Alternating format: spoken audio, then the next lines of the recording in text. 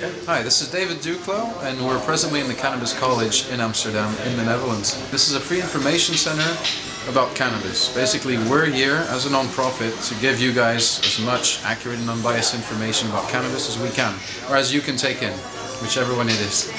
Everything from where's the closest coffee shop to uh, what is cannabis, uh, medical aspects. We have a lot of patients coming in here. Uh, we even had someone from the automotive industry coming in to discover if they could make more comfortable seats out of hemp. Come and pay us a visit. Come have a chat, sit down on the couch. If you have anything to teach us, we're more than open to it as well. Feel free to give us a shout, send us a line, um, contact us on Facebook, Twitter, any means you have. If you have a question we can help you out, we'll try. We'll do our best.